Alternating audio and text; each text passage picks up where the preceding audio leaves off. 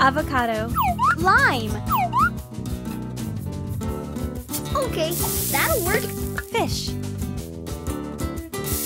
olive oil,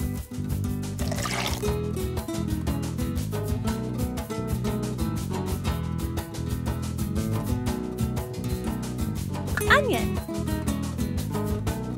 avocado, Okay, that'll work. potatoes, Okay, that'll work. salt, pepper, You're a master chef. You made causa. Did you know Cusco, Peru is the birthplace of a very special food, the potato? Potatoes are a plant called tuber. Let's make cheese fondue.